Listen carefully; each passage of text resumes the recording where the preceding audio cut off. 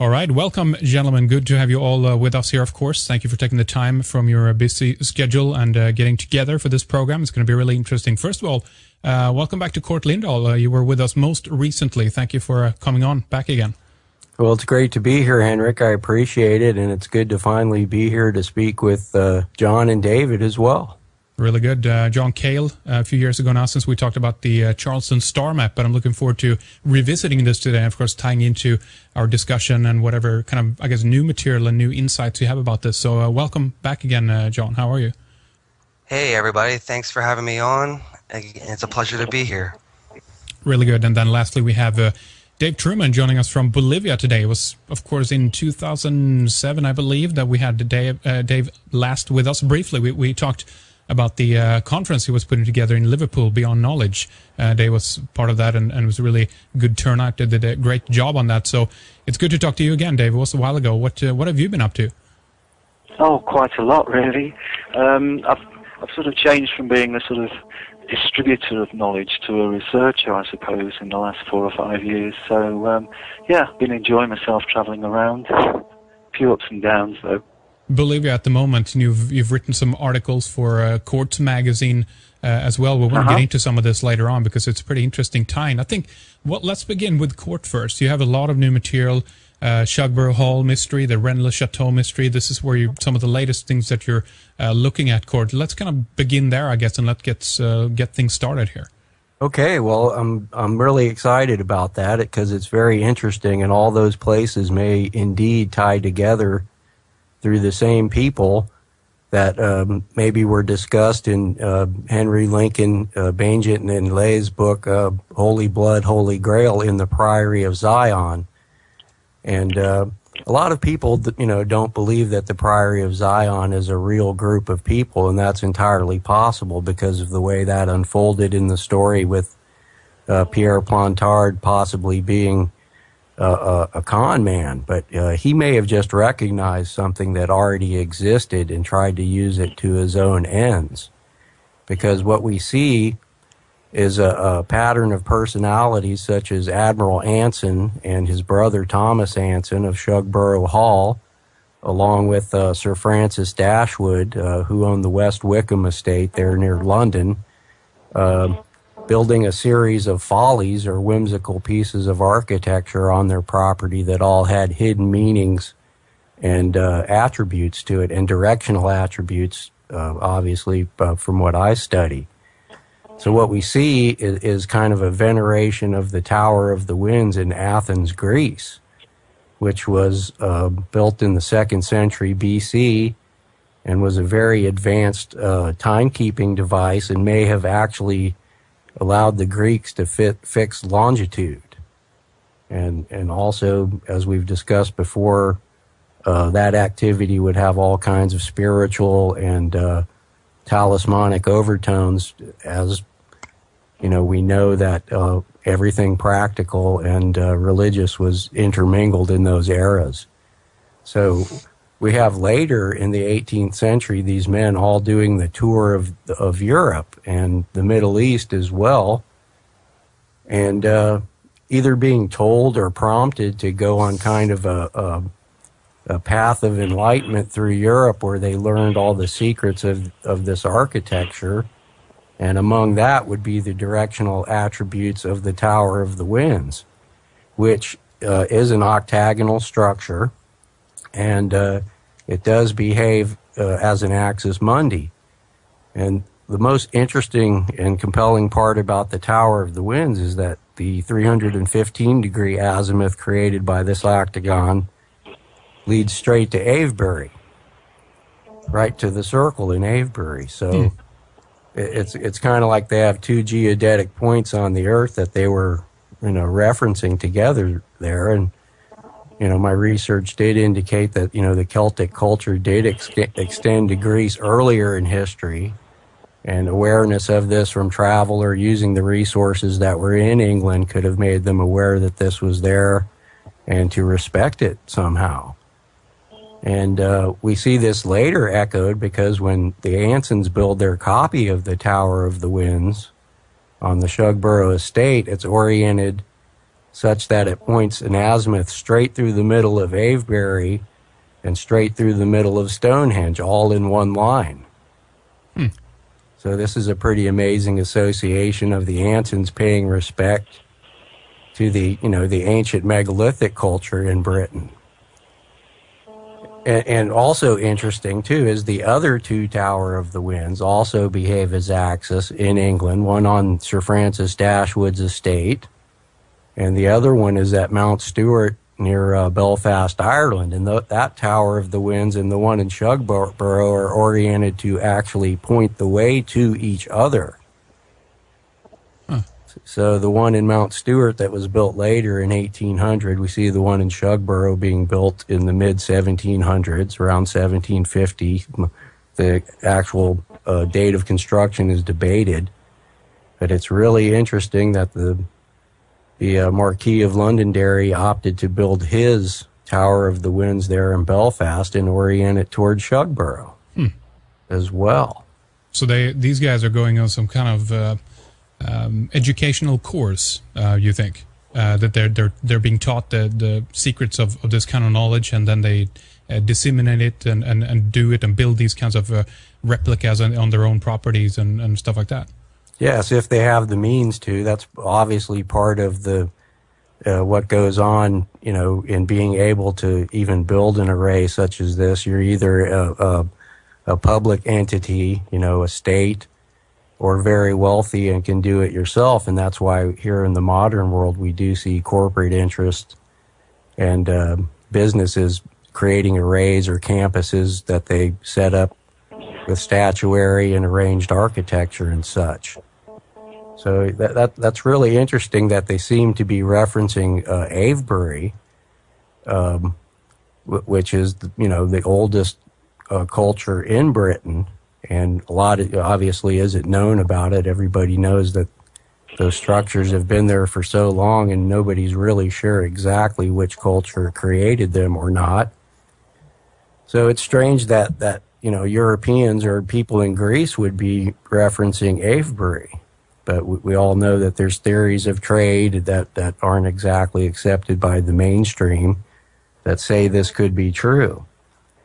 But um, what's also interesting about obviously Shugborough Hall is the Shepherd's Monument there, and there's there's been a lot uh, said about that through the work of Louis Buff Parry, who who uh, decoded the strange inscription on there. It's just a series of letters with dots between them but uh, he deciphered it and came up with the fact that the stone of destiny or one of the teraphim or holy biblical stones was hidden on the Shugborough estate. And all of the lore associated with the shepherd's monument says that the shepherd's monument will, quote, point the way to the Holy Grail. Now, using the techniques that I've used, I measured the angular orientation of the shepherd's monument itself and the northwest azimuth led right to the International Peace Garden on the border of the United States and Canada, which is interesting because my theory to this point has been that that's a special axis of import in American history that was visited long before history says that was possible as well. And we have the octagonal powder magazine in Colonial Williamsburg, which is also seems to be referencing the Tower of the Winds as a reproduction pointing the way right to the International Peace Garden. We have the Newport Tower in Newport, Rhode Island, uh, pointing the way to the Kensington Runestone in a solstice event. And we have the octagon at the Peace Garden pointing to the Kensington Runestone. Hmm. So, and also, you know, what Mr. Uh, Louis Buff Parry was involved in was the Stone of Destiny, and he had identified a sandstone pillar very close to the, the border of United States and Canada that had the Hebrew inscription of Preston written on it and an alcove dug into the pillar where the stone used to be. So we have that on the same latitude as the International Peace Garden as well. And that's another way of geo-referencing things to a certain axis in addition to the arcs that are extended by the octagons. Hmm. So it all seems to point to the International Peace Garden being of a place of importance. I mean, even Admiral Anson is involved in the tale of the stone that came from the sandstone pillar because he pirated it away from the French. On the way, oh, they were bringing it back to France, and his squadron intercepted the Admiral Jonquière's fleet and captured the stone. And that's a strange story too, because it, it smacks of being a setup almost that possibly both these men were Knights Templar or members of a, a, a, a pendant organization that had more concern with the safety of the stone than whoever possessed it. They might have had Right. more allegiance to their group than uh, nationality. And it's strange too, because after the fleet was repaired, after Anson got the stone, the fleet went to France and was repaired and was getting to return to the West Indies when he intercepted the fleet again and captured a person known as the Marquis of St. George. And many people suspect that this individual was indeed Saint Germain. The real, uh, the real one, huh? The real deal. the, the real, the actual one, I've been looking into him a little bit, and he actually was a real person. He's not just a figment or a fairy tale. And there are, have been some uh, sources I'm trying to track down of Lady Anson actually speaking of Saint Germain in some of her correspondence. So here we have this uh, Saint Germain too, is is reported to have been the one that created the Order of Strict Observance, which I suspect is the group of people that are arranging these Tower of the Winds and these geographic uh, associations in this era. I think they're using a technique that they learned from ancient times and from other alchemical uh, sources and using it uh, for their own ends to communicate and for intelligence purposes. Tell us um, the order or the, or the rite of strict observance, what that is for those who don't know, Cort. Right. The, the, the, rite of strict observance was seemingly uh, more oriented to France and Germany than in England that we know, but we know there were secret connections between the Knights Templar too, irregardless of what nationality they were. And uh, some of the sources say that Saint Germain actually created the Order of Strict Observance, and this was a an order of masonry that likely Alexander von Humboldt was a member of, and Thomas Jefferson was said to be a member of, and th- those are kind of sketchy sources, and I'm trying to track down better ones.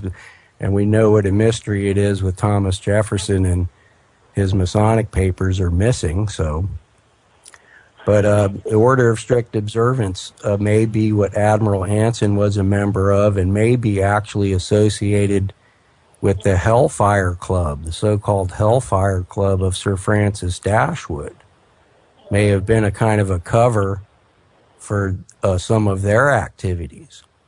And re- really, the Hellfire Club was not uh, known as the Hellfire Club. There were several different Hellfire Clubs, but uh, Dashwood's group was called the Monks of Medmenham Abbey.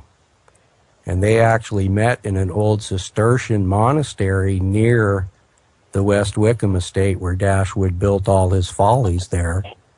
And um,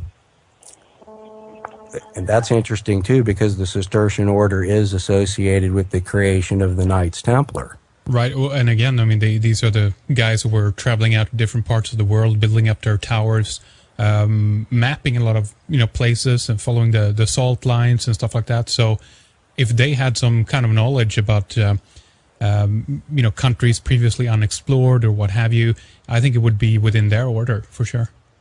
Yes, definitely. They, they also, you know, we have the missing Templar fleet, and a lot of people suspo- uh, suppose that this led to, you know, the, the legends of pirates and, and a whole different, um, you know, possibly earlier intervention in North America. So it all fits in with what we see with the Kensington runestone, which has a date of 1362, and uh, possibly other places in. um the United States that are thought to be Native American sites, but were probably influenced by this group of people, like the Newark Earthworks in Ohio, uh, which has an interesting feature there that's oriented towards the Great Pyramid of Giza. at the same angle as the slope sides of the pyramid at at, at uh, 51.8 degrees. Mm. Wow. So I, yeah, I have a video about that. It's a large circular feature with an octagonal feature connected to it via a small corridor, and the linear orientation of that points to the Great Pyramid. Uh, uh, and, and by the way, sorry to interrupt you, I still have to mention this because as you were talking about the rite of strict observance, I think is an important uh, note to make that it, it's introduced um, basically by Baron Karl Gotthelf von Hund, a, a German, you know, uh, nobility aristocrat, whatever, uh, a baron basically, and he's of course one who is very prominent in the in the actual Illuminati. Later on, he's brought in. He's believed to be, uh, you know, he's he's claimed to have a direct descendant from the Knights Templar and the Rosicrucians, and he he joins the Order of the Illuminati pretty early on and is brought in by uh, Weishaupt. So um, I think that's yes. a pretty interesting note to make. Yes, and coincidentally, the, that it, it was an interesting story because he at one point he came forward because he felt he had been abandoned by the leaders of the strict observance. And a lot of people think they were connected with the jacobite rebellion in england because um, after the at about the same time he was abandoned a lot of those people were either killed or arrested in the in the 40, uh, 1745 jacobite rebellion in in england. Right. Yeah. So and that also that the tie-in with the Priory of Zion, uh, Zion with von Hund is interesting also because the list he supplied of past Grand Masters matched the list that Pierre Plantard uh, supplied uh, for the Grand Masters of the Priory of Zion. So here we had the same man uh, much earlier in history supplying a very similar list of people as being the Grand Master, past Grand Masters. Hmm. So wow. Link, Lincoln and in Holy Blood and Holy Grail, they made that connection as well. Wow, cool. Yeah, there's a link to Preston as well, um, because uh, when the Jacobites moved, marched south into England from Scotland with Bonnie Prince Charlie, they actually sacked Preston and took the city, for, well, what's nowadays a city, from from the um, Hanoverians. Um, and in fact, they almost actually uh, got rid of the Hanoverians, which in my opinion would have been a good thing. But um, yeah, so there is another time with Preston there Cort. Yeah, exactly. And there we have, as I described before, the sandstone pillar that Parry found had the word Preston inscribed mm. in Hebrew, and it's on the same latitude as the Peace Garden. And then if mm. you go to the octagon at the International Peace Garden, it points a 45 degree angle right to Preston, England. Wow. So there's maybe a hidden clue there as well of these geographic associations where you go to point A, you know, to point B, back to point A, and you can find the way to the next clue. So that's that's kind yes. of maybe one of the purposes of these arrays too is kind of like a vision quest that that involves people figuring this out at a certain level of initiation. Yeah, yeah, yes. interesting. Yeah. Dave, any, more, any further comments on that? Um, I, ju- I just find it interesting that the same themes keep coming up time and time again because certainly with South America, for example, there is also a connection with the Knights Templar. Um, in that when um, in 1307 when Philip IV and the, the, Pope conspired to get rid of the Templar order um, some of the fleet fled south into Portugal and um, those Knights Templar were, were basically um, looked after by uh, King Dinis I of Portugal, and he created the order of um, the Knights of Christ. And uh, the Knights of Christ were uh, seafarers, basically, and as soon as the Templars come Knights of Christ arrived in Portugal within very few years, um, the Portuguese era of expansion and exploration began. In fact, Dinis I's son, Alfonso IV of Portugal, uh, became a Grand Master of the Order. And what's also interesting is that certain family connections uh, link in with all this, because at the time the Portuguese kings were of the sort of cadet branch of the House of Burgundy. And one of the founder members of the Knights Templar, sort of two, three hundred years before, was a guy called Andre de Montbard, who was also of the same family. So, you know, all these things seem to tie in very much so. Oh, indeed. Um, And John, later I want to tie in Charleston because certainly this is where the American branch, if you will, of this all of this is set up. The American Scottish Rite is started in Charleston. Um, want to ask you more about the star map. If we uh, keep for a moment a little bit more on your work, Dave, um, tell tell us about. You mentioned something interesting to us earlier about how geomancy is used to uh, established um, nations. It, it, it has a deeper kind of meaning to it. Talk a little bit more about that. Absolutely. Well, I can pick up on Scottish Rite Freemasonry actually, because um, what I found was that um, I studied the sort of liberation wars during the, well, around the turn of the century, 18th to 19th centuries, uh, between the emerging countries in South America, the republics, and the Spanish imperial Spanish Empire, basically. And if you if you don't actually dig too deeply beneath the surface, you get this sort of impression that Freemasonry played a major role at the time. That all these liberators, such as Juan San Martin or um, um, Bernardo O'Higgins, who was the first president of Chile, were Freemasons. But in fact, they weren't. What's interesting is that um, it seems as if there was a sort of re writing of history about 40 or 50 years later. And um, Freemasonry became more important in the popular accounts of history that, that emerged after that time. Mm. Um, so, I mean, it, it's, it's quite fascinating to see how history has been remolded in some certain ways to, to emphasize the role of Freemasonry. Why do you think they did this, Dave? Why does this happen? Sorry? Why do you think they did this? Uh, they want to um, um, seem more important than they actually are? Why did they do this, do you think? Um, well, I think it was about the establishment of a national identity in, in these new countries. Um, take the example of Uruguay, for example. Um, the, the popular myth of the foundation of Uruguay is that it was founded by 33 Orientals who basically fought off the Portuguese stroke Brazilians in the um, land to the east of the Uruguay River to establish this new country.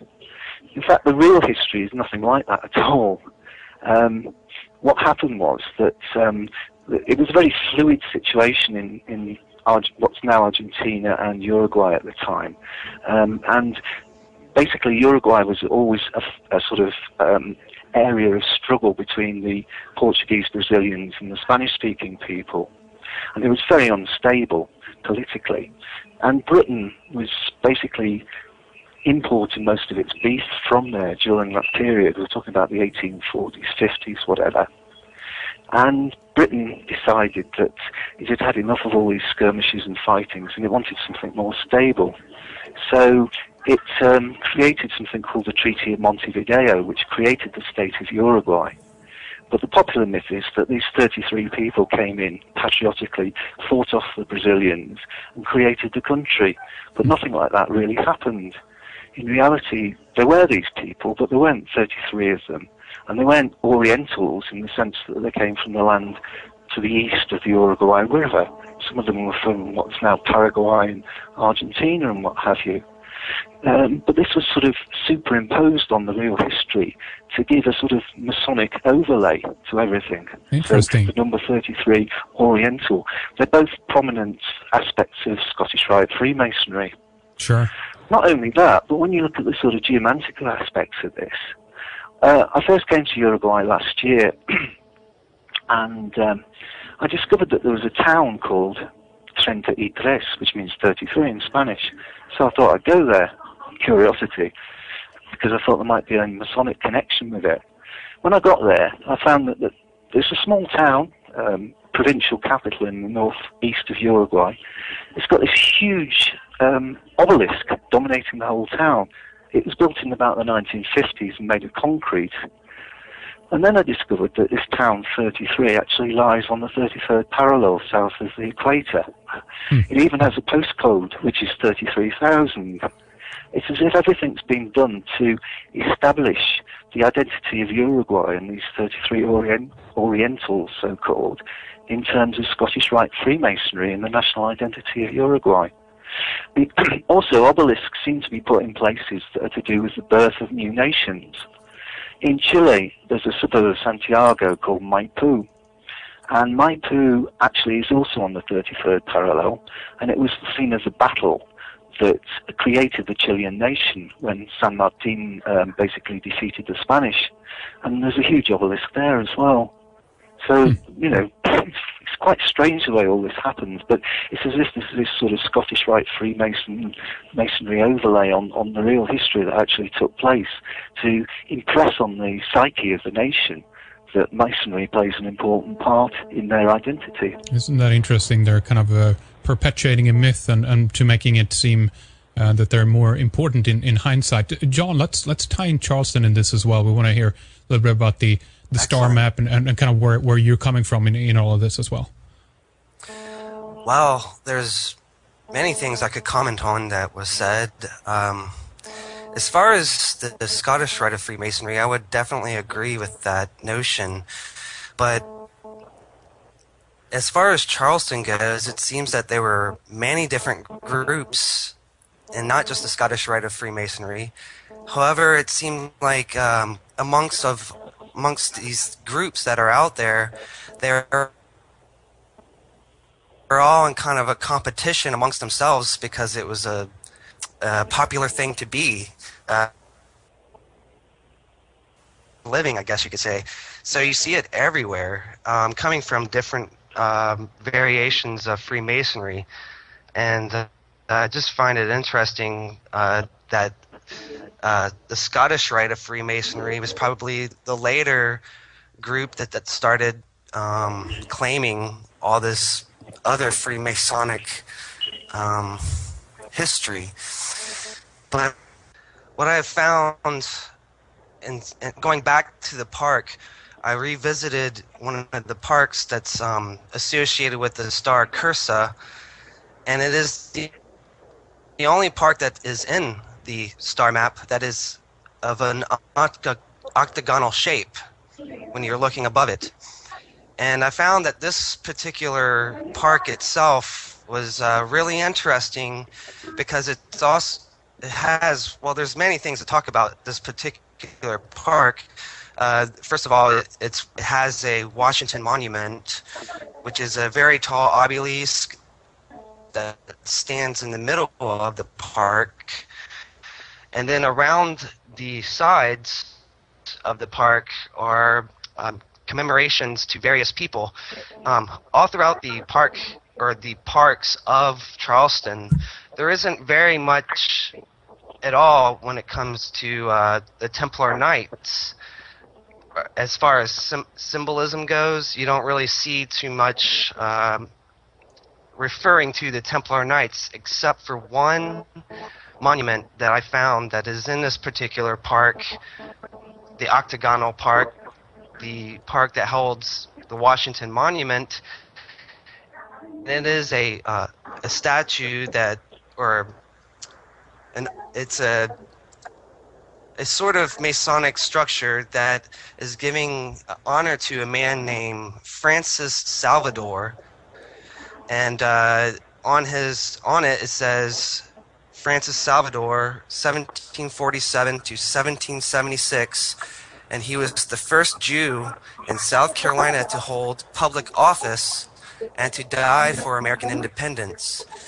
And above his name is a Templar knight uh, holding a wand in his right hand, and who is holding a skull in his left hand, and there's a man on his knee that is uh, obviously being knighted by this Templar knight. So I just wanted to throw that in there. I thought that was kind of interesting because I haven't seen any Templar Knight associations as far as the artwork that still exists in these parks, except for this one location.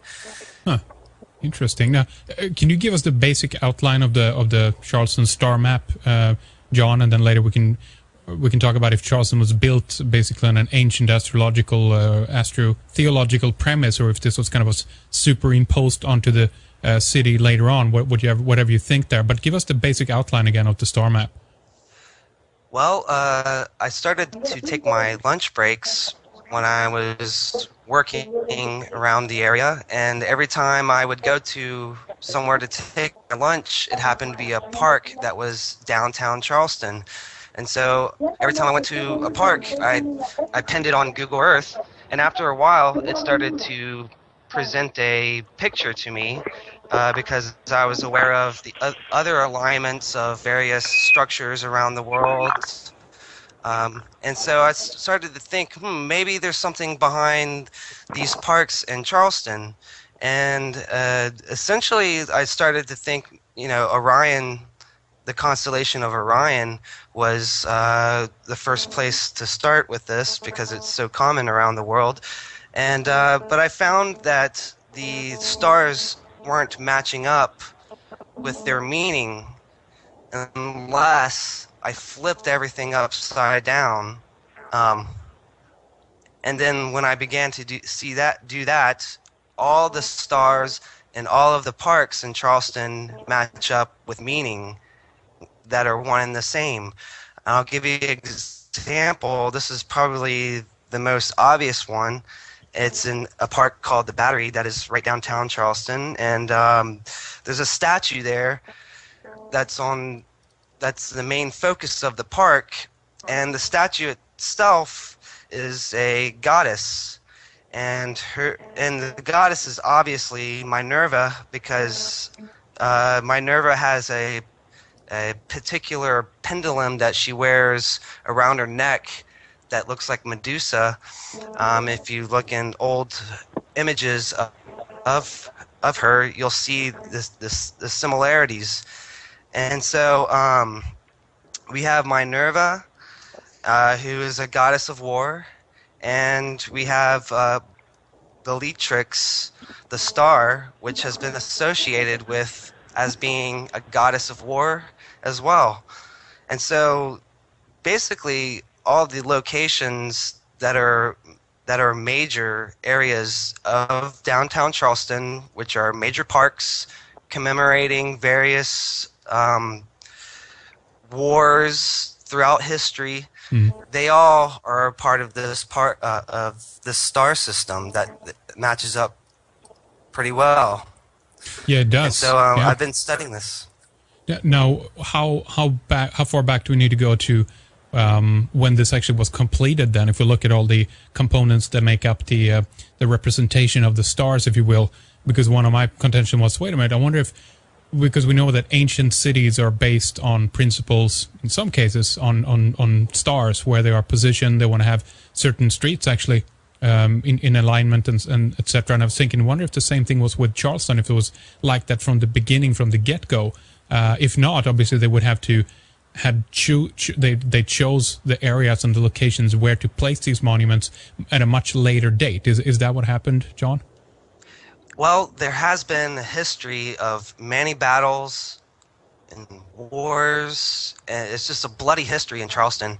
It's been burnt down, um, and to me, like I, I, I see that they've been rebuilding over the same areas uh, for various over various periods of time, and uh, I would say that that whenever something fell down, they went and built something on top of it, and uh, have just kept these areas alive ever since. But there are newer parks in the area that that are you know within that were built within the past 30 years or so but they've they've just been modernized, and though this the same um, emphasis in these areas have been tried to, you know, they try to keep the same though. But I do see that like things have been destroyed and then built again, and then destroyed and built again. Right. But I, I have a feeling that it even goes way further than the colonization of these people. I think it actually, I, I, have been trying to get into uh, more research into this, but I, I have a feeling that a lot of these places were Native American sacred places that goes back thousands of years. Right now, I'm just trying to keep digging, and there's just more and more to dig in around. Uh, you know, you have everything from the times of slavery to the times of the pirates that were here in Charleston. So it, it's really hard to know when and who built everything because so many people are behind it all. Exactly. Now, um, Cort, let's go back to you again and, and, tie this in because you, you talked about Anson before, and he has an interesting connection to uh, to Charleston as well. Tell us about that.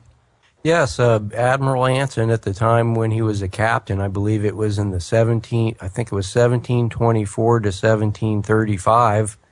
He actually lived in Charleston, and uh, a part of Charleston was named Ansonborough for uh, Captain Anson as he had won that property in a poker game for, from Gadsden, who, who later was one of the, the a bigger statesman of, of South Carolina and a famous South Carolinian.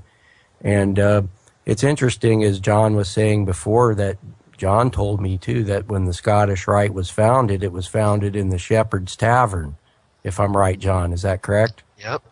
And that, that may be a, a, small tie into the Shepherd's Monument or that value of that uh, representation of Christ by uh, Admiral Anson possibly. And I have read some accounts also. We were discussing the the order of strict observance earlier that that might have morphed into the Scottish Rite in part because what I read about the Scottish Rite and again correct me if I'm wrong John was that that establishment in uh, Charleston was was international. I think that was the first Scottish Rite uh, uh, founding ever. Like even the the French uh, and Scottish Rite in Scotland actually refers to the Scottish Rite in the United States.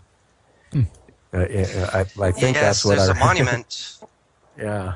Yeah, the monument that's downtown says on this site stood Shepherd's Tavern, the birthplace of the ancient and accepted Scottish Rite of Freemasonry, the Mother Supreme Council of the World, May 3rd, 1801. And then yeah. it has a list of all the founders. Yeah, that's a little known fact. I think most people, obviously, because the name assume that it's associated with Scotland mostly or France. When you really look into the Scottish Rite, a lot of the, the their uh, ethic, ethos and philosophy uh, developed in France, and with, then with the Normans that left France and went to Scotland and and England, then it became uh, part more part of it there until it was actually established in South Carolina. So that's very interesting too, and also you know part of the things I've been learning too about the Scottish Rite are the the, the kabbalistic uh, overtones of the Scottish Rite. You know, you have Albert Pike writing that that is one of the main uh, tenets of masonry. And th- this leads me back to, uh, again, of all places, to Rennes-le-Chateau in France. Because just recently, I've been learning about Girona, Spain, which is one of the earliest uh, schools of the Kabbalah in Europe. And the way the Kabbalah developed, the European version you know, assumed some of the mythology and lore and alchemical uh, practices that were already in Europe as well. So that's an interesting uh, uh, tie-in as well. And I, I was looking at Rennes-le-Chateau as an axis because there is an octagonal uh, feature in the chapel, which isn't standard in every Catholic church, and there's another similar octagonal feature in Rosslyn Chapel in Scotland. So I examined Rennes-le-Chateau as an axis, and it did seem to define uh, many of the places. I, I, the building there is oriented at 87 degrees, so I, I uh, created my axis based on that, and one of the main rays coming off of that matched the pentagram that Henry Lincoln had delineated in the Rennes-le-Chateau area using features years ago and that was really interesting because first I I drew the octagonal templum and turned it off, and then I drew the star, and as soon as I you know brought the templum back up, it matched the star right away. So that was really interesting there when that happened.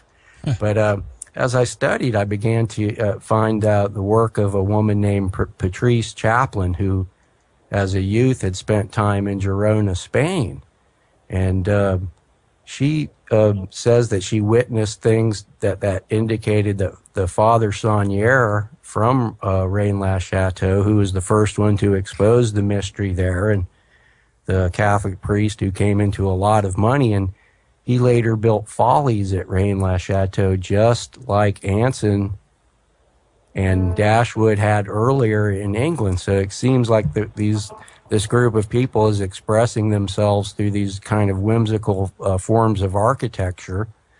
And we had Father Saunière building the Tour Magdala, which is a miniature tower, kind of a really neat little feature there, and the Villa Bethania. And both of those features are located on rays coming from the axis there at the chapel as well and uh, the Chateau Hautpoul, two of the towers there, which is a famous feature of Rennes Chateau, match the axis as well. So when I began to look at the work of Patrice Chaplin, who said that there was a group of people, including Father Saunière, that would do rituals that were actually aimed at Rennes Chateau as if that was kind of the mecca of their faith. And in addition to this, in Girona, there's a cathedral with an octagonal feature.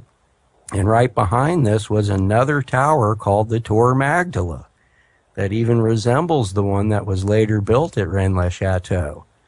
And this is where this woman claims to have seen the rituals occurring, and she uh, even claims to have seen Jean Cocteau there, one of the supposed uh, grand masters of the Priory of Sion. Now, whether this story is true or not, it's still we, we see this mythology being built to this place, you know, in Spain that that Rennes Le Chateau points to. Hmm. So then I began to examine the Girona Cathedral with its octagonal bell tower that was built in about 1590 for its directional attributes. And interestingly enough, first of all, it points to the International Peace Garden. Just like the Shepherd's Monument that the Ansons built at Shugborough, and just like the Powder Magazine in Colonial Williamsburg and uh, likely Thomas Jefferson's octagonal state poplar forest as well. So when I came upon this information about Girona, I was just startled to see that it was could be associated with the International Peace Garden. Now, not only that, one of the other northwesterly azimuths coming from that octagon. Not only does it go through the pentagram that Henry Lincoln delineated, it goes right through Rennes-les-Bains, which is another famous site associated with the Rennes-le-Chateau mystery and the home of the, the Catholic priest that was thought to actually have masterminded the entire uh, scheme, if you will. But as this line continues, the same azimuth there that goes through the star, it extends to England. And earlier I had identified Avebury as a hexagonal axis that intersected with a place called Abbotsbury on the south coast of England, which is a kind of a hill with a church on top of it, very similar to Glastonbury. So not only the, does Avebury point to Abbotsbury, but also the Girona Cathedral points there. And as the line continues, it intersects directly with Burrow Mump, another line, a famous site on the Michael line. And uh, my model of, of Avebury also included the Michael line being one of the uh, hexagonal rays coming from uh, Avebury, and it transects over Glastonbury Tor precisely and Burrow Mump precisely.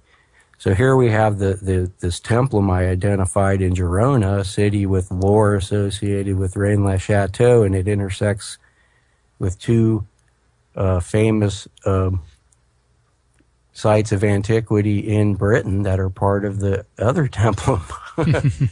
and so, and like again, Avebury is associated with the Tower of the Wind, so we see everything being associated with Avebury. I mean, there, there's even a building right that was built recently, and it was even featured in the opening ceremonies of the Olympic Games, uh, called the Coq d'Argent, the poultry building in, in the city of London that has a unique uh, arrow like pointing feature when viewed from plan view. And this building is odd in that it's famous for people committing suicide there. really? And and it's very near. It's only about 300 meters from the center stone of London. This building and this this arrow-like array that's part of the building points the way right to Avebury as well. It, it has a the, the the poultry building that it has a very kind of strange, almost uh, I don't know how to explain it. It looks it looks like an ancient planet. Also, architecturally, is kind of reminiscent of actually the MI6 building in London as well, with these kind of terraces. It has a kind of like a, almost a Babylonian feature to it. Difficult yes, the front there then the lawn in the opening ceremonies, the the part where the Queen was flying up the Thames there, uh, they passed over that building, mm. and there were some people in the front waving and everything, and and uh, we all know the the symbology in the opening ceremony was interesting with. Uh, 007 coming to the Buckingham Palace to get the Queen, and we all know that Dr. John Dee, who was associated with Queen Elizabeth I, his code name was 007. That's so right. They're, they were giving us a little nod there with James Bond coming to parachute into the Olympics with the Queen. Good stuff which which was interesting. I thought that was very funny, and the, the Queen was a good sport to do that. yeah, it was it was I was pretty. Um, yeah, I guess a lot of people were amazed that she actually managed to um, you know to, to, to pull that off or to, to agree to do it rather. but yes, there yes. you go. But there was another interesting reference to Avebury. That's what really the, this the whole system in Europe during the era I'm speaking of now, the Anson era uh, after that, with the pre Raphaelite Brotherhood, which is during the 19th century, that kind of filled the same bill uh, that Dashwood and the, the Dilettante Society filled. And, uh, it, and this is like groups of artists and um, you know free thinkers and things like that that kind of use a, a, Masonic framework or maybe associated with the Masons or some group of their own, sort of like the Bohemian Club in San Francisco where they choose to to uh, communicate with each other and build these follies and and uh, that have geographical and symbolic meaning to them. So there's a big connection to the Kabbalah. I'm thinking through the Girona connection there with Rennes-le-Château. It seems to all be finally uh, coming together where we see these different groups of of Knights Templar that may have once been mistaken for the Priory of Sion and how they developed in France and Britain in kind of a separate way. Let's see if we can uh, talk a little bit about some of the articles that you wrote for Quartz Magazine.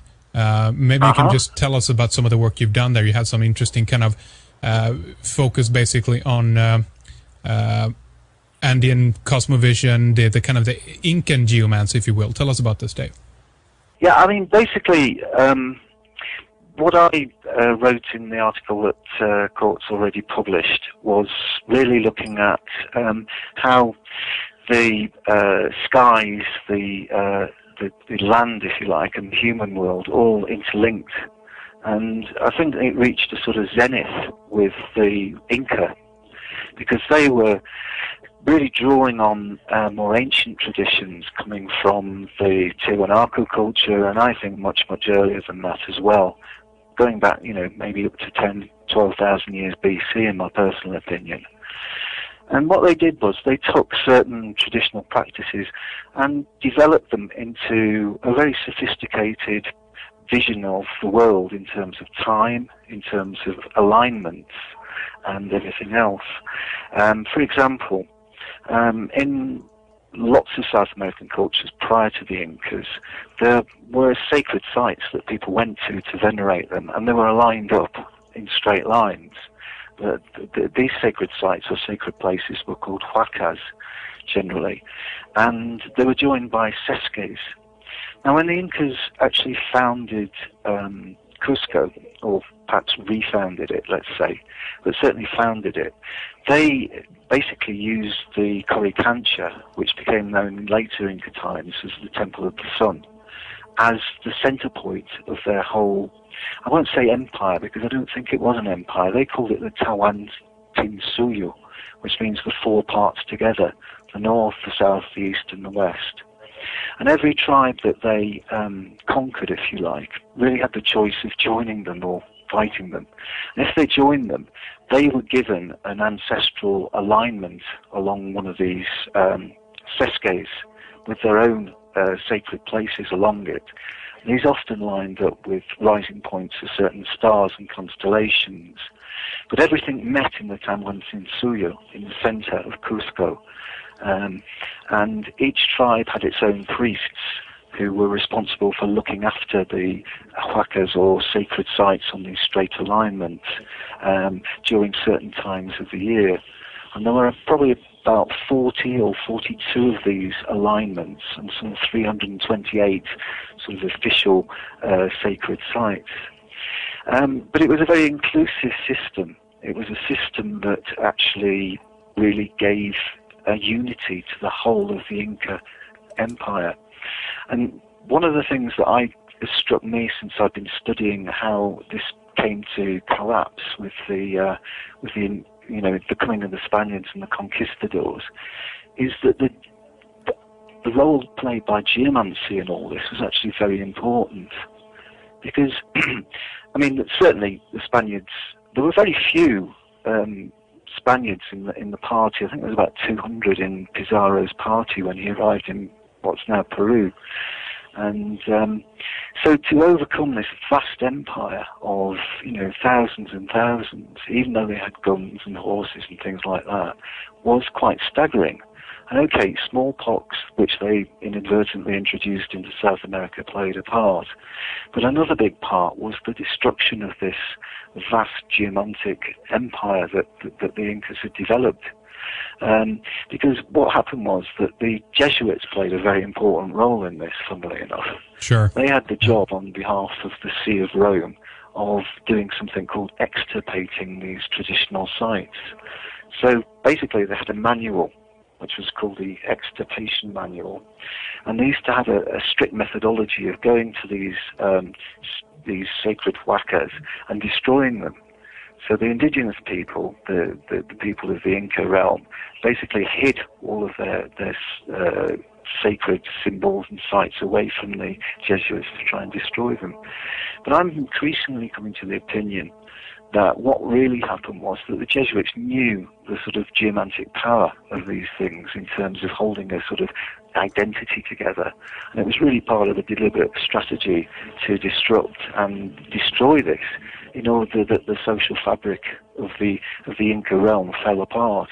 I think this is probably something that's been not really looked at very much in terms of the, the historical record, because it's no coincidence either that, um, of course, the the Spanish built their churches on many of these sacred sites, and they align now in a similar way to in Europe, where, um, you know, certainly in Britain anyway, churches were built on megalithic sites, for example, and you see alignments like the Michael line and the Mary line in England and so on.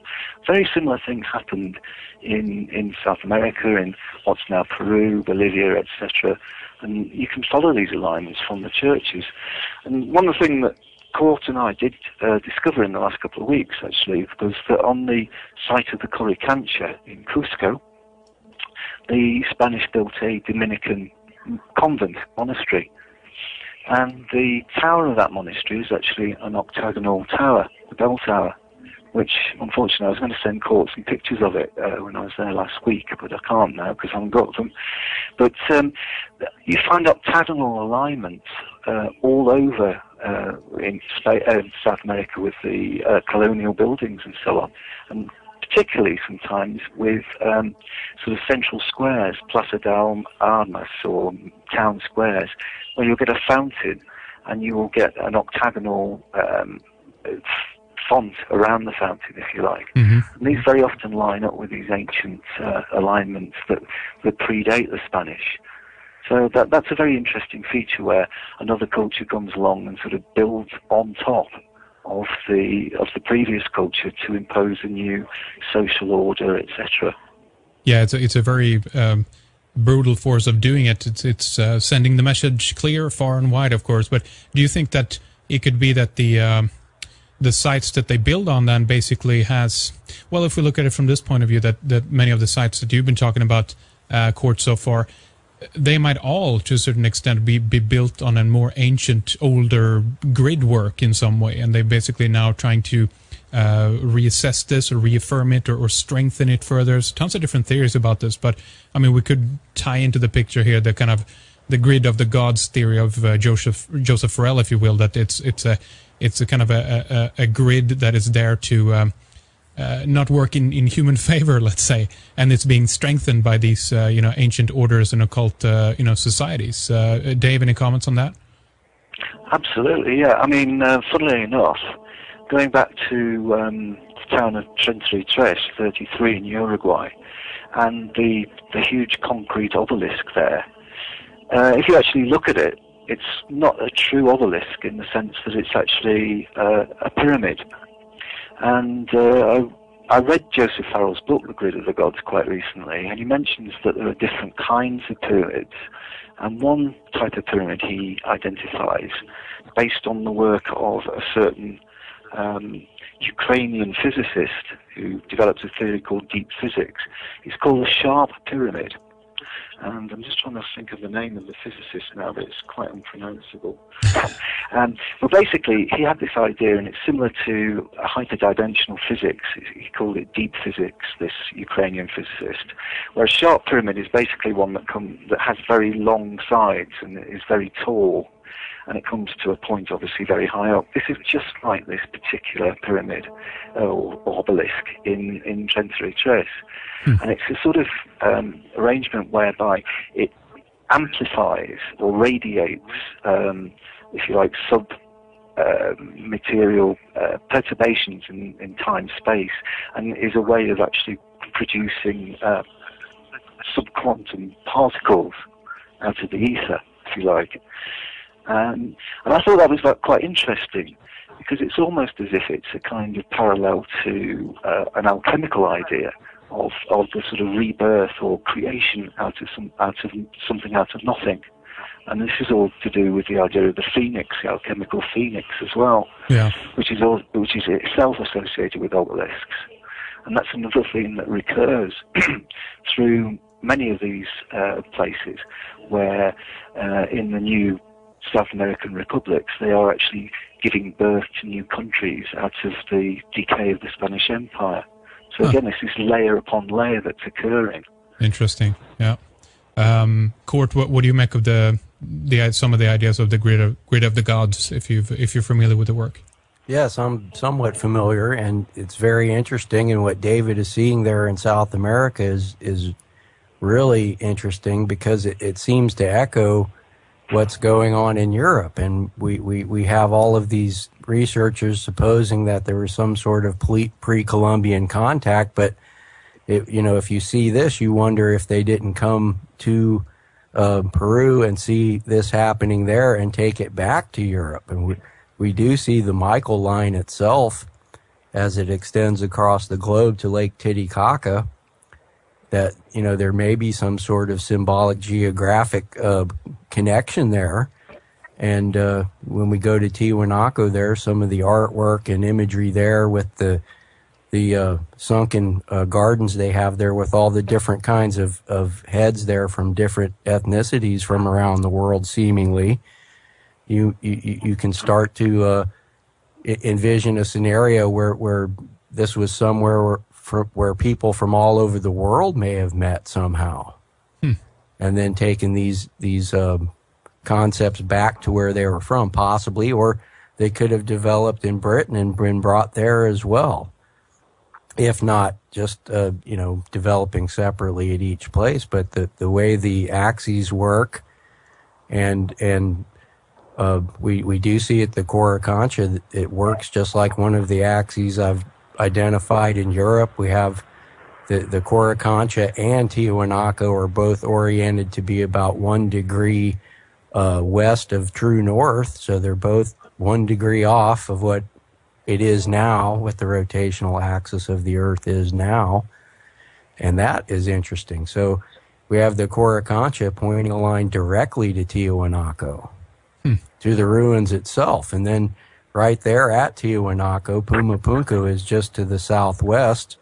It is a large square shaped uh, area, and diagonally that points right to Tiwanaku and even matches the diagonal aspect of the step pyramid at Tiwanaku.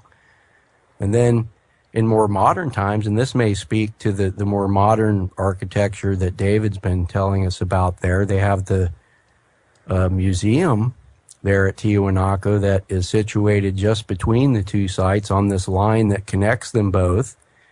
And the building from plan view is kind of shaped like the Incan axis or the uh, Chakana shape, which forms an octagon. Mm. And the new modern museum is oriented so one of the facets of that matches the line coming from Pumapunku to Tiwanaku.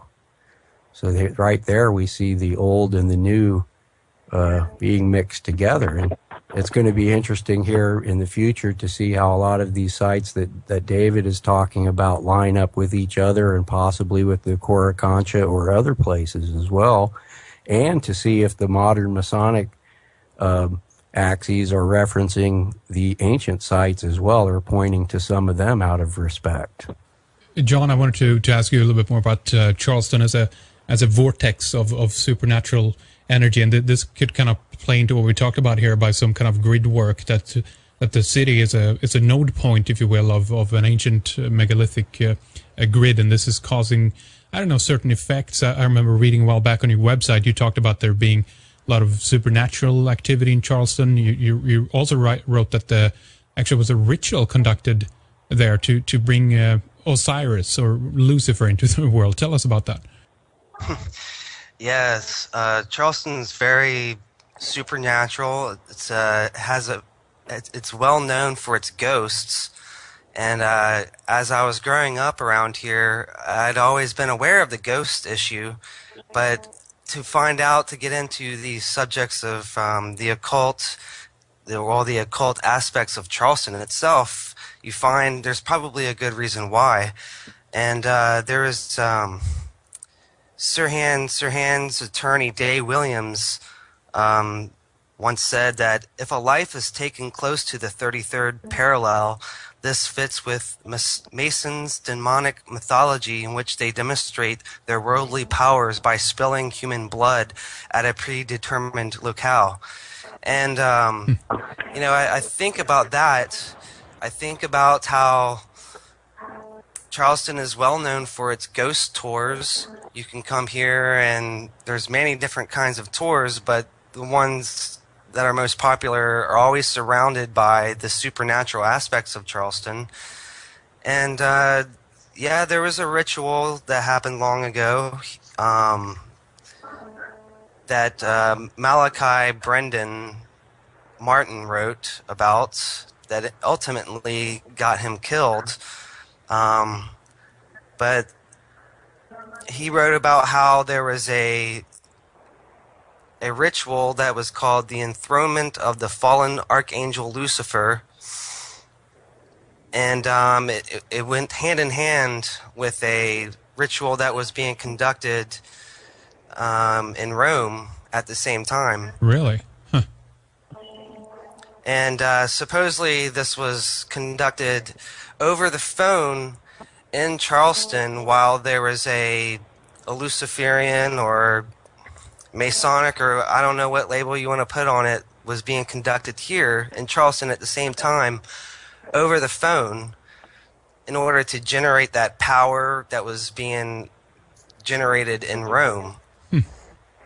And uh, there's just so many things about this place. Um, there's a lot of, like I was saying earlier, it's Charleston is known for its wars, um, its death, and misery. Everything from um, the Native Americans here that were basically killed off. Um, and, and, and, you know, of course, there's the pirate history here. This was a major pirate location. Yeah.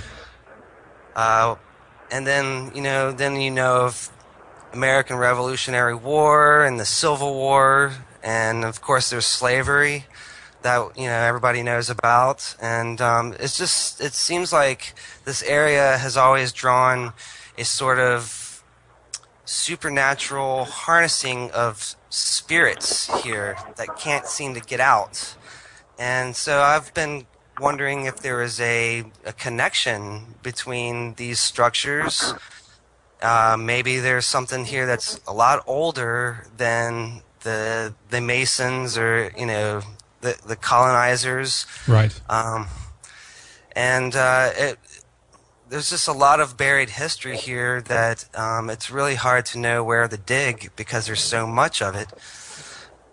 But uh, it's definitely a supernatural place, and um, I know that this is a, a popular place for ghost hunting, for instance.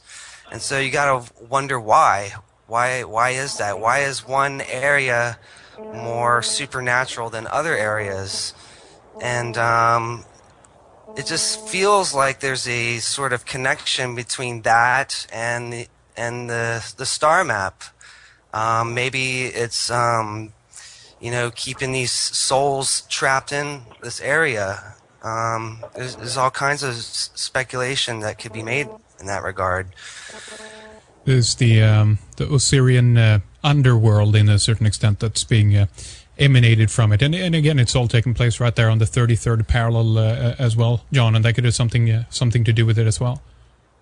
Well, you you mentioned Osirian, and yeah, it, it does because one of the last locations in the star map is uh, where the dead reside in Charleston, and it is a cemetery called Magnolia Cemetery, and this is where the star Sirius would be located, which is the dog star.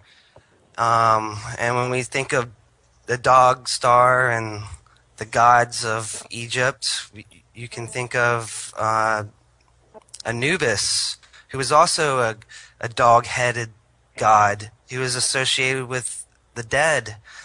And uh, in this location, it, it is just filled with masons who who have who have been buried in this location. Uh, Their their stone heads are obelisks, um, and there's a, a very large pyramid that is at at at the center of this um, cemetery. So um, when I look around Charleston's parks, it's interesting because during the day you'll see children playing in all these parks. Uh, there's a main area called Waterfront Park where it holds three of the so-called stars of the belt of Orion that I'm associating it with. And this area, it, it tends to get a lot of the children to come and play in these water parks. And so during the day, we have a lot of this um, harnessing of youth energy uh, because the other parks are also quite popularized by the college kids that are in the area as well. So during the day, you have all this youth walking around, and then at night, you have all this, you know, supernatural kind of energy going around. Really interesting. Now, uh, guys, I want to want to take a short break here at this point. We're going to um, take a little pause and continue to talk more in the uh, the second hour, second segment. And uh, why don't we uh, just kind of uh, talk about the websites of where people can go to find out more about your uh, individual work? John, let's begin with you then right away, and please give out your details and where people can read and and, and watch your videos about the star map. Well, if you head on over to cosmicgnostic.com, that website you can pretty much find out about all of everything that I've been speaking about here. I have been developing new videos recently going back to these parks, revisiting them, and adding even more detail to them. Um, but there has been years of blogs and videos produced uh, that centers around some of this work, and I also talk about and explore many other subjects over at cosmicgnostic.com. And also, uh, I have a a book project that I've been working on that centers around the star map of Charleston.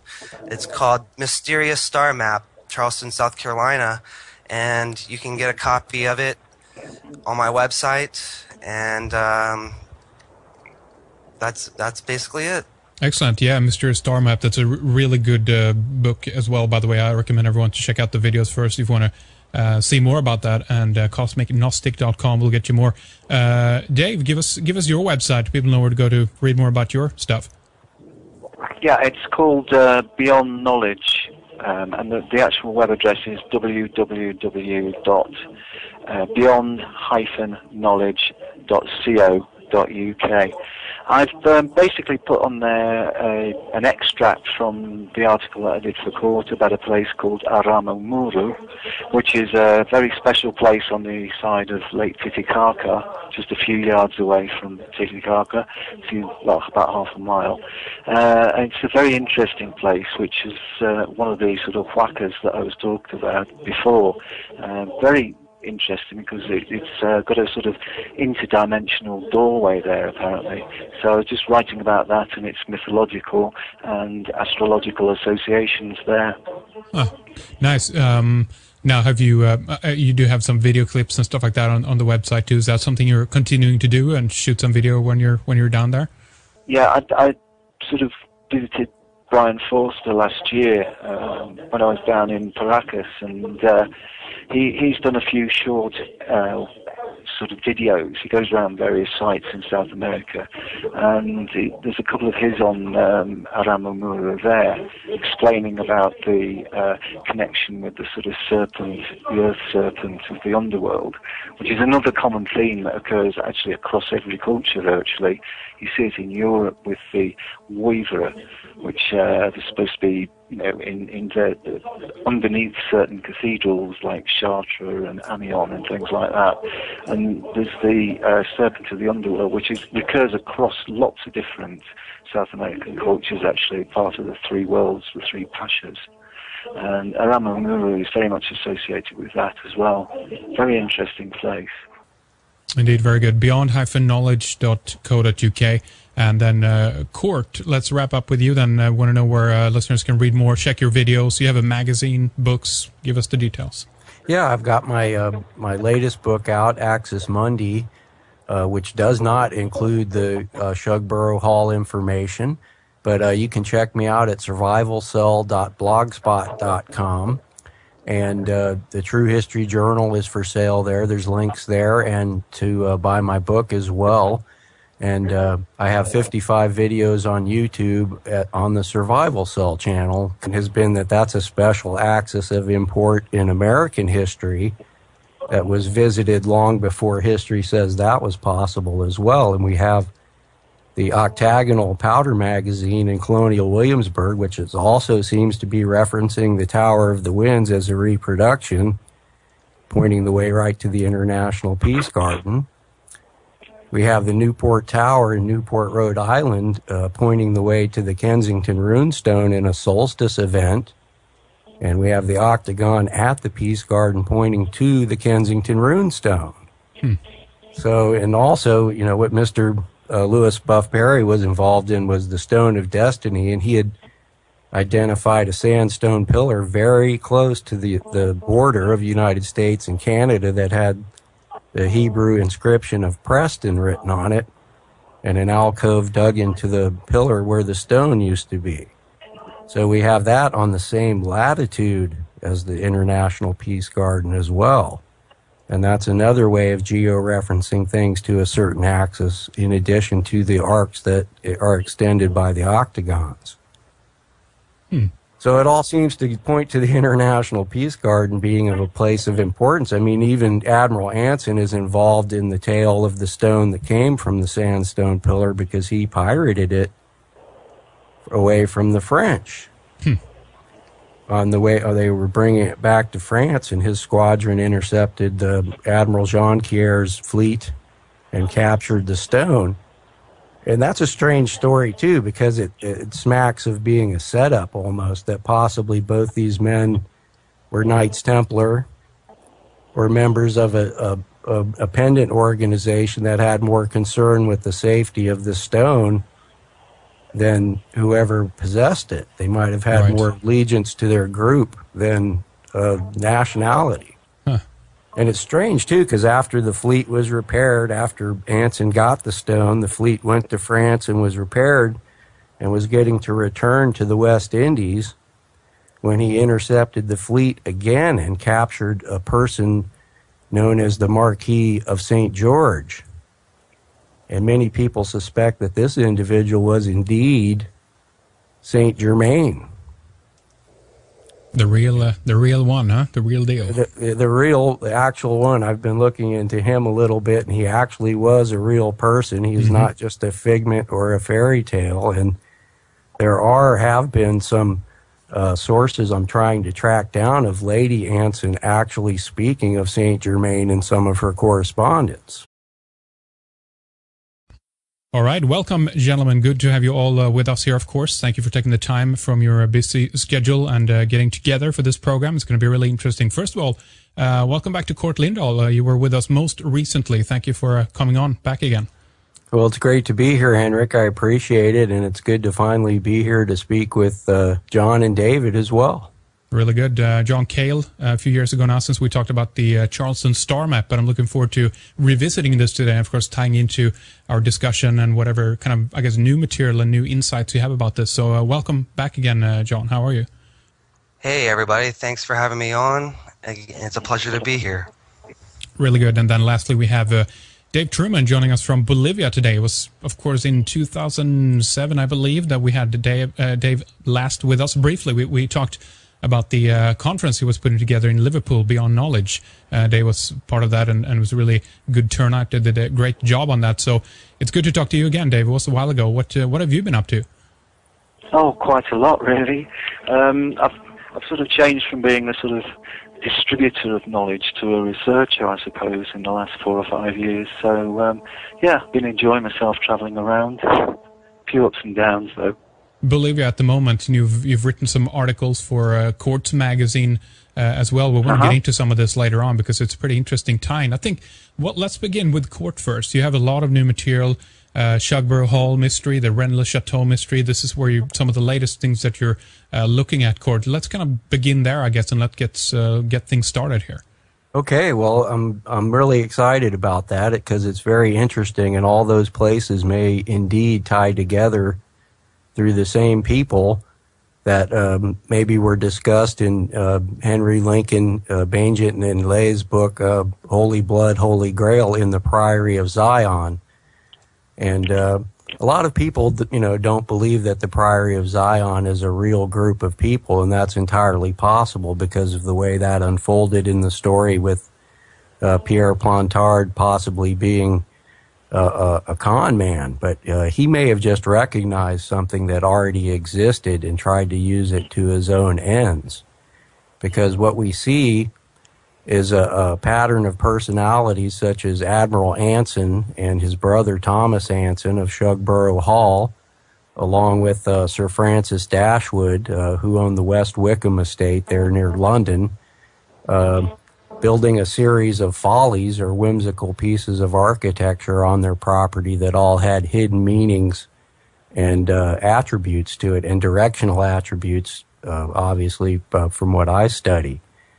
So what we see is, is kind of a veneration of the Tower of the Winds in Athens, Greece, which was uh, built in the second century BC and was a very advanced uh, timekeeping device and may have actually allowed the Greeks to fit, fix longitude. And, and also, as we've discussed before, uh, that activity would have all kinds of spiritual and uh, talismanic overtones as you know we know that uh, everything practical and uh, religious was intermingled in those eras so we have later in the 18th century these men all doing the tour of of Europe and the Middle East as well and uh, either being told or prompted to go on kind of a, a a path of enlightenment through Europe where they learned all the secrets of, of this architecture. And among that would be the directional attributes of the Tower of the Winds, which uh, is an octagonal structure and uh, it does behave uh, as an axis mundi. And the most interesting and compelling part about the Tower of the Winds is that the 315 degree azimuth created by this octagon leads straight to Avebury, right to the circle in Avebury. So Hmm. it's it's kind of like they have two geodetic points on the Earth that they were you know referencing together there, and you know, my research did indicate that, you know, the Celtic culture did ex- extend to Greece earlier in history. And awareness of this from travel or using the resources that were in England could have made them aware that this was there and to respect it somehow. And uh, we see this later echoed because when the Ansons build their copy of the Tower of the Winds on the Shugborough estate, it's oriented such that it points an azimuth straight through the middle of Avebury and straight through the middle of Stonehenge, all in one line. Hmm. So this is a pretty amazing association of the Ansons paying respect to the, you know, the ancient megalithic culture in Britain. And, and also interesting too is the other two Tower of the Winds also behave as axis in England, one on Sir Francis Dashwood's estate, and the other one is at Mount Stewart near uh, Belfast, Ireland. And the, that Tower of the Winds and the one in Shugborough are oriented to actually point the way to each other. Huh. So the one in Mount Stewart that. So here we have this uh, Saint Germain too, is is reported to have been the one that created the order of strict observance which I suspect is the group of people that are arranging these Tower of the Winds and these geographic uh, associations in this era. I think they're using a technique that they learned from ancient times and from other alchemical uh, sources and using it uh, for their own ends to communicate and for intelligence purposes. Uh, tell us um, the order or the, or the of strict observance, what that is for those who don't know, Cort. Right. The, the, the rite of strict observance was seemingly uh, more oriented to France and Germany than in England that we know, but we know there were secret connections between the Knights Templar too, regardless of what nationality they were. And uh, some of the sources say that Saint Germain actually created the order of strict observance, and this was a an order of masonry that likely Alexander von Humboldt was a member of, and Thomas Jefferson was said to be a member of, and th- those are kind of sketchy sources, and I'm trying to track down better ones. And we know what a mystery it is with Thomas Jefferson, and his Masonic papers are missing. So, but uh, the Order of Strict Observance uh, may be what Admiral Anson was a member of, and may be actually associated with the Hellfire Club, the so-called Hellfire Club of Sir Francis Dashwood may have been a kind of a cover for uh, some of their activities. Hmm. And re- really, the Hellfire Club was not uh, known as the Hellfire Club. There were several different Hellfire Clubs, but uh, Dashwood's group was called the Monks of Medmenham Abbey. And they actually met in an old Cistercian monastery near the West Wycombe estate where Dashwood built all his follies there. And um, and that's interesting too because the Cistercian order is associated with the creation of the Knights Templar. Right, Well, and again, I mean, they, these are the guys who were traveling out to different parts of the world, building up their towers, um, mapping a lot of you know places, and following the the salt lines and stuff like that. So, if they had some kind of knowledge about uh, um, you know countries previously unexplored or what have you, I think it would be within their order for sure. Yes, definitely. They, they also, you know, we have the missing Templar fleet, and a lot of people suspo- uh, suppose that this led to, you know, the, the legends of pirates and, and a whole different, um, you know, possibly earlier intervention in North America was built later in 1800. We see the one in Shugborough being built in the mid 1700s, around 1750. The actual uh, date of construction is debated but it's really interesting that the the uh, Marquis of Londonderry opted to build his Tower of the Winds there in Belfast and orient it towards Shugborough hmm. as well. So they these guys are going on some kind of uh, um, educational course, uh, you think? Uh, that they're they're they're being taught the the secrets of, of this kind of knowledge, and then they uh, disseminate it and, and, and do it and build these kinds of uh, replicas on, on their own properties and, and stuff like that. Yes, if they have the means to. That's obviously part of the uh, what goes on, you know, in being able to even build an array such as this. You're either a, a, a public entity, you know, a state, or very wealthy and can do it yourself. And that's why here in the modern world, we do see corporate interest and uh, businesses creating arrays or campuses that they set up with statuary and arranged architecture and such. So that, that that's really interesting that they seem to be referencing uh, Avebury, um, w- which is the, you know the oldest uh, culture in Britain, and a lot of, obviously isn't known about it. Everybody knows that those structures have been there for so long, and nobody's really sure exactly which culture created them or not. So it's strange that that you know Europeans or people in Greece would be referencing Avebury but we, we, all know that there's theories of trade that, that aren't exactly accepted by the mainstream that say this could be true. But um, what's also interesting about obviously Shugborough Hall is the Shepherd's Monument there, and there's there's been a lot uh, said about that through the work of Louis Buff Parry, who who uh, decoded the strange inscription on there. It's just a series of letters with dots between them but uh, he deciphered it and came up with the fact that the stone of destiny or one of the teraphim or holy biblical stones was hidden on the Shugborough estate. And all of the lore associated with the shepherd's monument says that the shepherd's monument will, quote, point the way to the Holy Grail. Now, using the techniques that I've used, I measured the angular orientation of the shepherd's monument itself and the northwest azimuth led right to the International Peace Garden on the border of the United States and Canada, which is interesting because my theory to this point